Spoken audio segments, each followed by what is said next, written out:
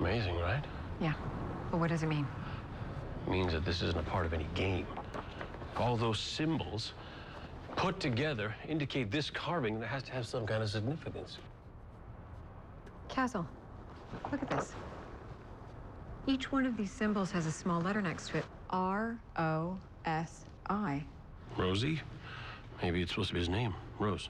Oh, that's a, that's an I. Um, maybe it's roi, like uh, French for king, or uh, soir for evening. No, wait.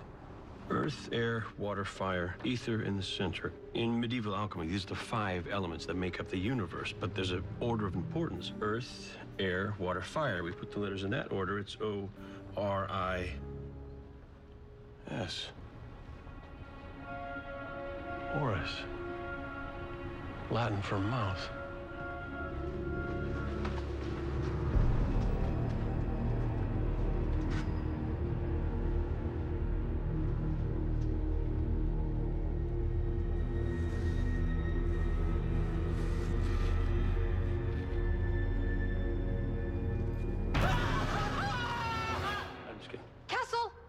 Can't believe you fell for that. There is something in here, though. Hang on.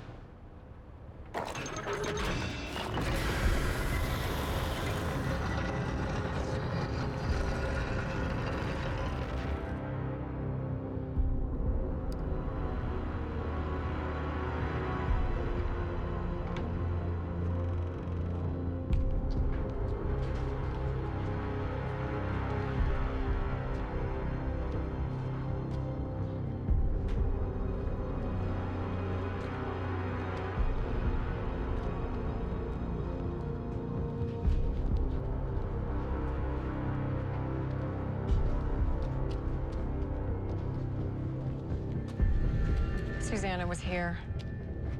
This is our crime scene. There's our murder weapon. Castle, look at this. These marks are fresh. Someone was trying to get inside it. Suzanne must have come to the chapel that night and figured out how to get in here just like we did. Except the killer found her before she was able to open the sarcophagus. What do you think's inside? I don't know, but someone thought it was worth killing for.